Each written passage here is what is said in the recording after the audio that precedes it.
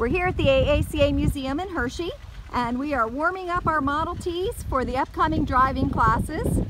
First one starts on the 18th of July and then we have all sorts of dates available throughout the summer and fall. You get to do a class to learn how to drive it, then we put you behind the wheel.